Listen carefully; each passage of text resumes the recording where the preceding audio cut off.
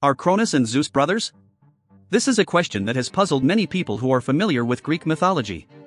The relationship between these two powerful figures is complex and filled with drama, as one might expect from a family of deities. Zeus, the king of the gods, is the youngest child of Cronus and Rhea. He was born after his siblings, as Cronus had a habit of swallowing his children to prevent them from overthrowing him, as a prophecy had predicted. However, Rhea managed to save Zeus by giving Cronus a stone to swallow instead of the infant god. Zeus was then raised in secret on the island of Crete, where he grew into a powerful and cunning deity. Cronus, on the other hand, was the ruler of the Titans, a powerful race of deities who were eventually overthrown by Zeus and his siblings. Cronus was known for his cruelty and his determination to maintain his power at all costs. He was also the father of Zeus and his siblings, making him a central figure in the family drama that unfolded in Greek mythology. So, are Cronus and Zeus brothers? The answer is yes, in a sense. Zeus is the son of Cronus, and they are both members of the same family of deities.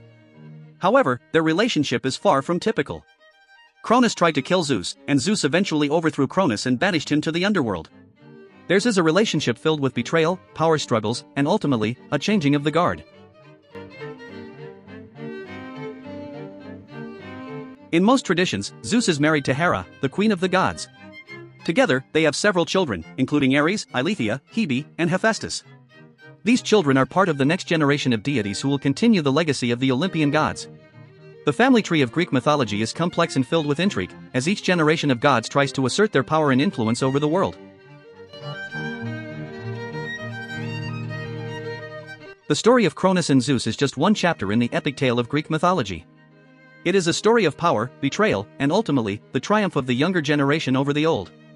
Zeus, as the youngest child of Cronus and Rhea, represents a new era of gods who will lead Greece into a new age of prosperity and power.